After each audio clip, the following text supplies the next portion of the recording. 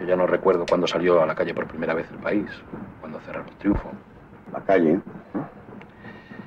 Y uno ya no se acuerda muy bien qué fue antes y la televisión en color o la desaparición de la censura. El proceso de Burgos, 2001. El asesinato de Carrero. El espíritu del 12 de febrero.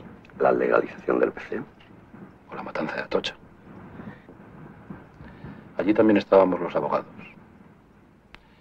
En el 75 éramos como la purga de Benito. En todos los sitios estábamos. En un convenio del metal, en la desaparición de una menor, en un encierro de una iglesia o sencillamente escuchando las tonterías que te decía un amigo a las tantas de la mañana con una copa de por medio. Acabar con la dictadura entonces era una cuestión personal. Bueno, al menos nosotros creíamos que era una cuestión personal. Héroes.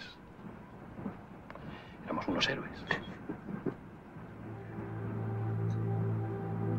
¿Y Gloria? Gloria Pérez Mariñas. Sí, sí. Gloria. Era una chica rubia, muy atractiva. Creo que era modista o asistenta o algo así.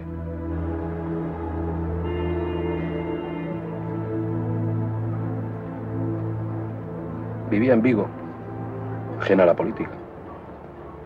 Y un buen día leyó en el periódico que su hermano, su único hermano, había matado a un guardia.